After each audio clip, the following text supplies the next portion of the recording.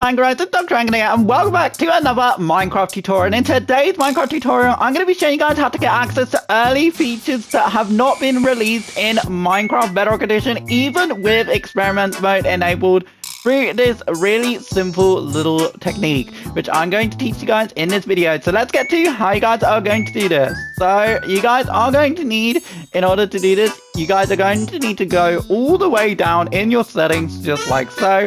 You guys will then, you need to download the PlayStation 4 preview, whatever platform it on. It should say this, it should have this preview font, and then it should have the get this version preview.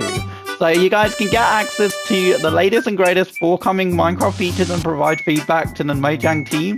And you can click download and this will take you to the store of your platform that you're on.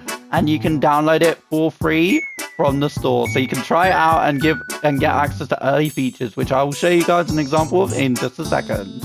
As you guys can see here, there is many different examples of features that you can't access currently in Minecraft Bedrock Edition on any platform.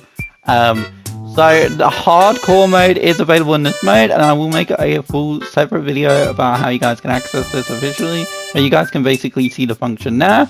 And that is also, you guys also, there will be there will be random extra perks. So as you can see here, there is an extra um, experiment called Render Dragon Features for Creators, which enables the deferred rendering pipeline and requires a PBR enabled resource pack and compatible hardware.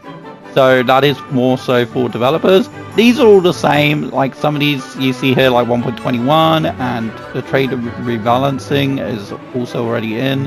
And in this version guys, the wolf armor etc. is already in the game. Like the wolf armor, the armadillos and stuff are already available to get into the game. And if there's any new cheats, I don't believe there is new cheats. Um, but other than that, you should be able to experience Minecraft pretty much the same, but you get access to hardcore mode too.